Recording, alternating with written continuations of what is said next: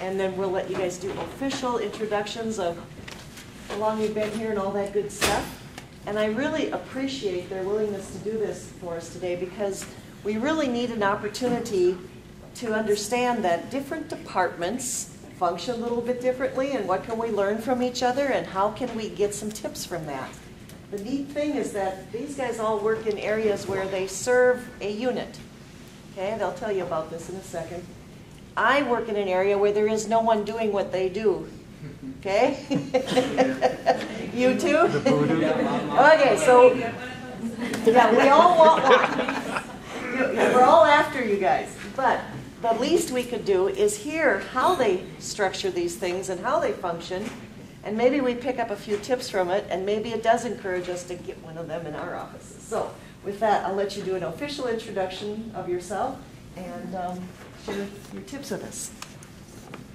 I'll stand because I'm short. I'm Myrna Freed. I'm from the Carrington Research Extension Center, and I've been at Carrington since 1999. I'm Jan Ulrich. I work in the Department of Plant Pathology and also with the School of Natural Resource Sciences. And I have worked with research for 10 years. I'm Julie Nash, and I'm in animal sciences. I've been at NDSU since 2001. And for most of that time, I've been with animal sciences. Part of that time, I um, left and worked um, with the Ford program, so I got to see it on the other side of actually working with um, a grant that was funded and administering that. So I've, I've seen it from a couple different views now. Great, thank you. So you Take it away, guys, whoever wants to go first. and Well, I can start out with, um, as far as, I worked in spa previously, so now for me coming to the departmental level, I, it is really an eye opener. You know, it is, because you, I thought when I first, when I moved, it would be a real smooth transition, but it's amazing to me the things that are, um, the things that I never thought of by myself working in spa, I guess, just I, things I never encountered. But to begin with, I guess, like everybody says, time is huge. We need to start everything in a very timely, timely fashion. I'm fortunate, I have phenomenal faculty I work with. They have been excellent to get me their proposals, or at least part of their proposals, in advance so that I can get the PTF started, I can get their budgets reviewed, look at their justification along with their budgets, and get a small, like, abstract or the little, you know, the scope of work of what they're gonna do, with their objectives. Um, For me to get that part in advance, and I really, really have always pushed for the seven days. You know, it depends on the type of grant we're looking at. If we're looking at a grants.gov, I had a faculty that seriously started his grant three months in advance. And he needed the three months. I mean, that was his whole technical writing, everything. But it really takes the pressure off of everybody, you know, because we had the time to pass it on to the, you know, beyond our departmental signatures, we send it over to Ag Budget, and it's, it gets reviewed there, and then we send it on to SPA, it gets reviewed there, and they need time to submit that proposal, and not one minute before it's due. So, you know, the seven to 10 days is definitely a necessity. Um, I would say to, for me to review and prepare a budget justification isn't gonna take me three days, but if you run into questions, or if we send it on over to ag or to spa, questions can come back again, you know, so time to me is huge. So that's what I'll start with and let somebody else talk a little bit here. Well, I think from my perspective too, um, I know all your, you guys don't have someone like us in your department, and so I've always seen my role as trying to be a tool for the faculty member to be able to work more on the science part of their grant. So I can take away and help with the other parts, uh, making sure that they're including everything in the grant that they need. I'm looking at guidelines, um, and policies and that. Uh, I know a lot of what we're talking about today is budgets and how to get it through the process, but it's only one little aspect of the whole grant proposal. And um, so I know for you guys, there's so many more pieces, and some of those um, forms can be very labor intensive, especially grants.gov, because it's not real user friendly some days. Um, especially if you have a lot of people on your grant, there's a lot of different things um, that need to be changed. And so even one little minute change, which might not seem much to someone else, they're like, well, make this tiny change. It's like, yes, but now I have to change it in five different places. And unfortunately, you guys all have to do that. I've taken that away from some of the faculty members so they don't have to worry about that. Um, but I think, you know, one thing that's good about the discussion is, is to throw it out there that there are many things that, uh, you know, affect the whole grant process. And even though I might be in your department, doesn't mean I'm not open to you calling and asking for, you know, have you ever done one of these? How do I do this? This isn't working in the form. Um, I definitely am never gonna say, no, I can't help you, you're not in my department. I won't put your grant proposal together for you, but I definitely am open to helping anyone that has questions about, you know, new proposals they're doing and things like that too. Um, the budgets are, you know, just one part of that. It's not, and, you know, the, the thing about the budget is it's very fluid. Um, depending on what, uh, after it goes through the review process at the external agency, they may come back and say, you know, we're only gonna fund part of it, or it's only gonna be, you know, this much this year and it changes every year. And so, uh, I know we focus a lot on that, um, and it does have to mesh with what your research is. Uh, and, and support, and you definitely wanna make sure you have enough money in your budget to do what you wanna do, and that's kind of what I see my role when I'm reviewing someone's uh, grant is to make sure they're asking for everything they might need. Well, I agree with Julie that um, we spend a lot of time on the budgets, but that's because that's what SPA wants to look at. And they rely on you to do the science correctly because that's what you are, you're scientists. So they rely on you to do that correctly. And that's why we're to help with the budgets and that's what they really care about. So I know in my department, people get irritated probably with me because I'm like, well, I don't care about the rest, just bring me the budget so that I can help you start. And it's not that I don't care about the other stuff, but that's what sponsored programs is going to look at. And it's not always a matter of, um, it's a matter of what's going to happen after you're awarded it as well. And I know in some instances we've had problems with, well, I don't like the way that looks, or that doesn't sound like how I'd like to like it to sound. And part of that could be because if you are awarded the grant and you want to pay for something that doesn't maybe look appropriate, you could get yourself in trouble later on. So while it might not be, it might not be disallowed in the grant, that doesn't mean it's allowed either. And, and so you have to watch those kinds of things. Um, you know, what I think was Amy or Marie said that read the instructions. And that's what I would encourage everybody to do first is read the instructions all the way through. Um, because there, and, and so much of it is probably Greek to you because it is to me sometimes too. You know, they talk about indirect costs and you can only use 10% indirect costs. And, and, but every agency and every grant is different. And so you have to read all the way through, and sometimes, I mean, I know the RFPs are 40 pages long, but you have to read all the way through to find that, yeah, NDSU wants me to use a, a, a match percent of 46%, but the sponsor is only going to allow me to use 20%. And that might be on page 36. So it's just important to read everything ahead of time and, and try and have, and that's why the time issue is a big thing too. Sometimes it takes a long time to read through that. So if we have people bringing us something that is due in three days, and the RFP is 40 pages long. I mean, we feel that that's our responsibility to read through that and know what your requirements are too. And that takes time. And, and then, from my perspective, I call Ona because half the time I don't understand, okay, I know it says ten percent, but how does that work? Is it ten percent of total direct costs, or is it ten percent of modified total direct costs? You know, all those things are different, but that's why you have to read and ask questions.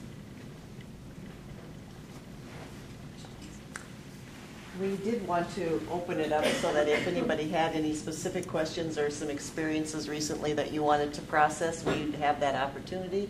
So I'm just going to pause a minute and see if anyone's got a question or example they'd like to bring up.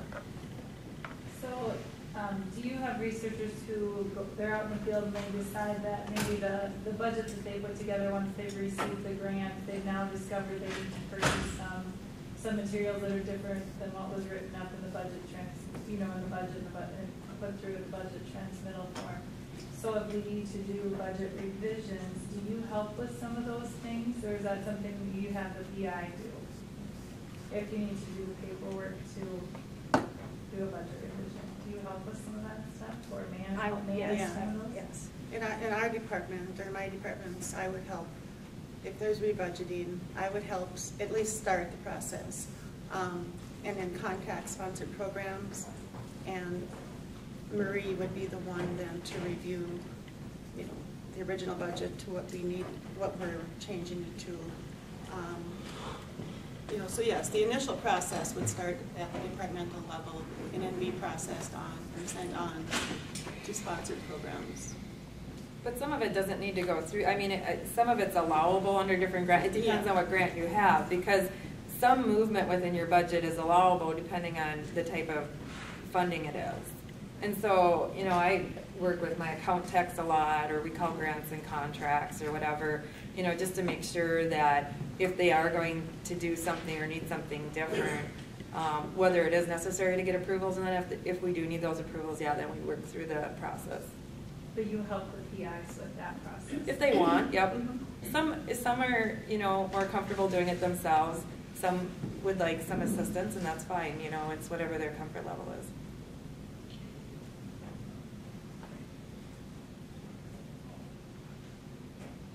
No, I feel like we might be a little out of touch with what you all do, because, I mean, our, I, in my office, I do maybe two or three extension-type grants, and the rest are research. And so, maybe we're looking at different animals too. I mean, I, I know that the one extension grant I do for Mary's program, it is, it's a bugger, it's a bear. And, and so if that's what you're all facing every time, I can see how you get frustrated, because it's taken me years, and Ona can attest to this, to feel like I have a handle on it, and it doesn't take long to not have a handle on it pretty quickly. I mean, honestly. And, and so most of your stuff is probably in the same vein as that. Um, You know, hers is, hers is a North Dakota Department of, of Health program, but it's federal money. And so if you're getting federal money, it's, there's lots of problems. I think the extension too, there's different, um, probably different needs than with the research, meaning, like, for example, if there's a survey, sometimes there are, like on the budget, there could be something that, there's gonna be a gift card given to the participants of this survey, or, you know, there's a, there's a lot of different items like that. Um, can help fill in, I don't know, I can't think of other, but I always think of that, those gift card or, can't say It's like- honorarium, I guess but. sometimes, like, even if they're using someone's facilities for doing on-site demonstrations and that, it's, it's, um, a different process or a different way of thinking about how you budget for it, Mhm. yeah. Did somebody uh, mention gift card? Did what? Gift cards. Gift card? Did you need one? See, I would, I would never, ever let my people put that in a grant, ever. Because I wouldn't do it. But, I don't know, we do them all the time. But it is allowed. We, we, yeah. The human subject. In- Yeah, see, and that's why I Yeah. say, you know, maybe I'm just out of touch with what you're doing, because, I mean, I would be like, no, you can't do that. It does depend upon the grant agency though, too. Some of them will allow that, some. Yes. For federal. They do. I guess I really appreciate the fact that you um, acknowledged with this group that there are a lot of differences. And everybody in here would have a different story. I I mean, there are just so many unique differences. And what that should say to all of us is that um, patience, patience is a virtue. We just really need a lot of patience sometimes when we're trying to work through these things. It just, it takes extra energy. And I have listened to people say to me, I don't know why I bother doing this. I'm so sick and tired of this. It, it's too hard, um, all those sorts of things. Well, part of the reason we're here today is to try to begin to share more information that will help this, help, help this process be less stressful for us. And yeah, we'd all like one of you guys in our offices. We probably aren't gonna get that tomorrow. But we do know that there are people out here who have worked on these things and we can ask for opinions and ask for alternative ideas. And that's why I wanted you to see their faces, meet them, visit with them afterwards. Um, I at one time said to them, you know, that if there's a process or any tips that they use that I might be able to implement without hire someone, hiring someone just in my unit, maybe I can gather some of that information. That's what I'm here listening for today. I don't have the funds to hire someone like this, but I do have the capacity to try to figure out a couple tips, a couple things that might be able to save us a few headaches. So that's our purpose. Well, and the one thing to add to that, like, that I would like to acknowledge is what you all are doing through those grant proposals, whether it's research or extension, is so core to what we do at NDSU. And so I always think of it as a team, you know, effort. Whenever one of my faculty gets a grant, I think I celebrate as much as they do. Because, I mean, this is really core to the, you know, bringing new knowledge and new services and new skills, whether it's on campus or off campus. And I'm here to help them make that a reality and continue to grow as a university. So I'm always thinking about the bigger picture of where it brings us. And that's why I say, you know, um, reaching out, um, other departments, other, you know, anywhere, any way that I can help someone else kind of find their way through that process or hook them up with other faculty members that may have the expertise that they need. Um, anything like that that just kind of starts the conversation because um, I think we have to keep in mind that we are a team, you know, it's in, in a different way, and that I'm really here to support all of you. So that's how I always look at it. That's our main, for any, any of us, that's our main purpose here is to give support, try and help. Yeah, I guess I have a question. As I work with the forums, the comment relating to most of them being related to research, I guess, kind of get home. Seems like all the forums, all the categories, everything in generic are written for research. And trying to find categories that would be more appropriate for the kinds of extension education that I'm trying to support with the grant is always challenging. So if there's any ideas as to what would be more appropriate, I mean, it talks about publishing journal articles. It doesn't talk about printing extension publications or those kind of things. And any assistance that we can have in figuring out what would be appropriate categories would would be helpful. I'll quickly address what I think as far as that goes.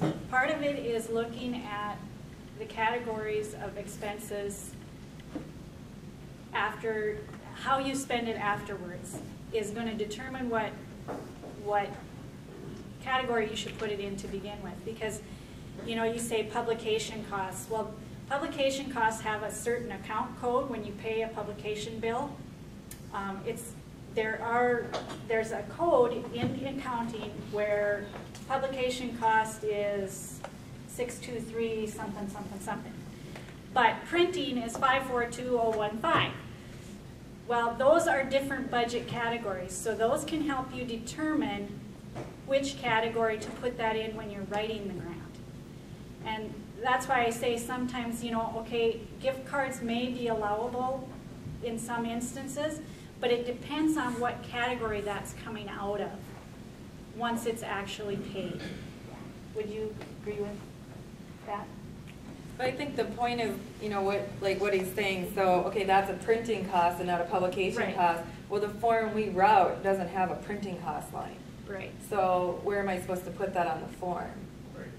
And- and That's, that's the point you're bringing up. You put it Yeah. under, do you, you know, if you're going to reproduce publications to hand out, is Mm-hmm. that a publication cost or is that a printing cost? If it's a printing cost, where do I put it? And And- how do I know as a, as, and again, I'm not supported for, again, I mean, we, we don't have Right. grant people in our department to to lean on. So I speed dial the Ona. Say, where do I stick this? Um, She'll tell you where. I know, I know, I know where she likes to stick it, but I No, um, but there are differences, but I, I as, I as the PI for this don't understand Right. That background. I don't, I mean, Right. unless you've done this a couple times Right. and tripped over it before and say, oh, you can't do it that way, Yeah, you know, you don't know. right. And even if you've done it a few times, it seems like coding changes and so on. Well, or- Where it doesn't work anymore. I, I have enough gray hair, I forget them. I forget. So how, well, let's just ask where you guys would like printing costs to fall instead of publication costs. A fee or? Is it other expenses or is it publications? And then mm-hmm. once it gets to grants and contracts, they're gonna have to separate it out. What I look at is probably a little more general because it's all in the operating category. I look at salaries, operating equipment. So if you've got it on this budget that you're going to send to me, if you've got it within that operating category, I guess I don't care if it's printing or publications, it's operating. Now, I think maybe, do you go more into the budget codes A bit more there, there again, it depends on the budget form that you're using as well. Um, if you're using the NDSU budget form as compared with the grants.gov budget form. And there isn't always just one correct answer. There maybe is, when it comes to classifying expenditures, there's maybe degrees of correctness. For instance, there's publication costs on the grants.gov budget form. That's meant for referee journals or some other printed, um, printed material that's meant to publish the results of what you have done. Now, that can be an extension bulletin. But if you're printing material to use for educational purposes for your workshop, it really doesn't belong there. If it gets in there, it, it- there again, I don't, that's not a huge issue to me if you put all your printing under publication. Technically, it's not one hundred percent correct, but, um, that's, that's kind of, that's getting down into the nitty gritty stuff. If everything else is correct, that's what we're really concerned about. That's how I view it. I have a question for Julie. I've worked with Julie on grants in the past, and that's really been helpful. Um, I'm just wondering if you could describe sort of your system, if you have one, because when you're writing a grant, there are things coming from forty different directions that all have to feed into this final project. But Do you have some sort of flow chart or Excel sheet, or is it all in your head? Pretty much in my hat. Yeah, I think because every circumstance is different. So depending on whether we're doing USDA grants, we have 18, 20 grants coming to me at one time, or if I'm working on a foundation grant where it's um, less intensive. Because some of them, the PI is going to be more involved in filling out different things because sometimes they can only um, access a form, or only one person can work on the form at a time. Um, Grants.gov I'm more involved with. Uh, One of the pieces that I always work with uh, the faculty on is, you know, again, it's kind of going back to this whole budget thing. It's not what you are focused on when you're starting to do a grant. You're thinking about, okay, objectives and what do I want to do and the science behind it or the reasoning, you know, and all that kind of stuff.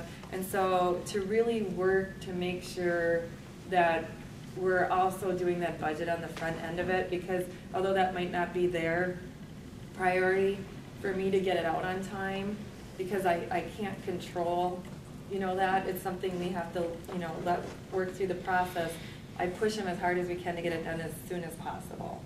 And so, um, that's kind of number one on my priority list, but that also includes then that they have to have some bit of a summary and we, you know, talk through budget justifications, things like that. The other things, um, that I worked through, and depending again, of course, the USDA grant is going to be more, um, labor intensive.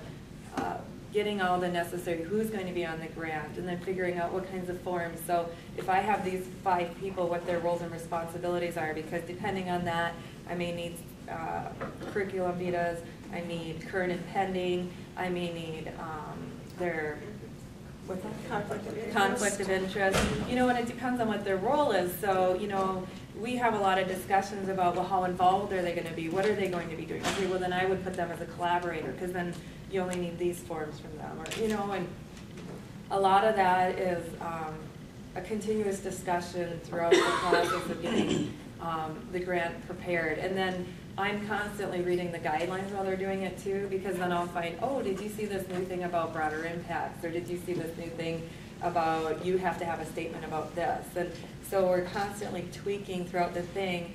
Um, and then I make, I also have a list of what forms I'll need. Again, depending on how complicated the grant process may be. One grant may be one just form, grants.gov, you've got, you know, a lot. And so, um, yeah, it's I so. was looking for this, this perfect system of uh, helping me get my head around. Let us know. Haven't found it yet. No, none of us have. Yeah, I think the big piece of it is Experience. communication Yeah. though, is, you know, having the guidelines and, and communicating back and forth about where are you in the process, you know, what do you need help with? Um, Have you, you- did you remember to get that letter from so-and-so? You know, and so a lot of it is a, um, a conversation.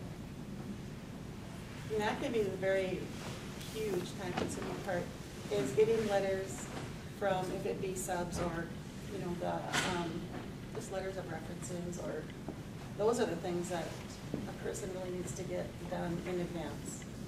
Because that can real, I mean, and it has many times held up grants, Yeah. or getting submitted, so. especially when we are working with other states or, Yeah. you know, um, just because their state says, well, they don't need to do that, doesn't necessarily mean that it's not required. Um, I've had a few PIs submit something without my knowledge, and then later on, you have to go back and fix all that, because NDSU still has to approve of your work with that institution or, or whatever you're doing. I mean, you cannot commit NDSU resources without their knowledge. They have to know that. So, and, you know, I've worked with a lot of different states where, well, we don't need a letter, and I, but we do. We need a letter that says that you are going to work with us, that you're agreeing to this, that your university is agreeing that you can work on this. And all of that upfront is a huge, huge help. Because it just, it does, it takes time. Because if their sponsor programs requires three days and their uh, ag budget office requires three days, you know, that's six days before you're gonna move it somewhere. So, just gotta plan ahead. I just want to make one other comment to kind of summarize this part up a little bit, and that is that when we first talked about this and we spent some time on the phone, the four of us visiting, I used the phrase that it appears to me what my experience here is, is that we have organized chaos. And I don't think you can totally change that because things change a lot. You know, you've got all these people, whether it's at the department level, whether I don't have department level help, whether I'm going through SPA and I'm going through a budget, and then never mind later grants and contracts, which we aren't going to talk about today. But all of that is, everybody's got systems. And it can feel very chaotic, and that's usually when I get to hear about people being so frustrated and so upset about something. and it is. It just is, because there are lots of layers. I think it's helpful for you to see and hear this. And by seeing and hearing this, you have a different perspective than um, sitting back when we're all in our own little tunnel vision world and I'm busy and, and we forget that everybody else has their organized chaos to deal with too. So um, I, I hope that if anything, you've picked up a few tips and you will have some patience with all the different entities that have to weigh in here to make a successful grant. And we talked about how it would be really helpful after this is over too, for us to kind of come together, and maybe there is a fix for that form, Ken, I don't know. You know, maybe, maybe there are some small things that will come of this visit today, and if you continue to send your suggestions to us when you run into that roadblock. I know even when we were talking, I was sharing an example about a multi-state grant, and Myrna had an excellent point. She said, well, if you could show me that, I'd understand it better. Well, this is a while ago, and we fixed it, and I don't think I can find you the original problem anymore. So it's too late. I just knew it was a problem. okay, so at the point next time you have an issue, okay, this is what I'm talking about. This is what doesn't seem right to me. Can we fix this? Please then speak up and we'll see what we can do. And we'll, we'll try to keep a conversation going and see what we can do. Okay? So I thank you three very much for being brave enough to just put yourself out here and um, offer to everybody that you'd take a phone call. That's big too. One, right? because- One? One, Yeah. one, okay. One, one call, one, One call per one. person, per year. so you have to correlate that. Thank you very much.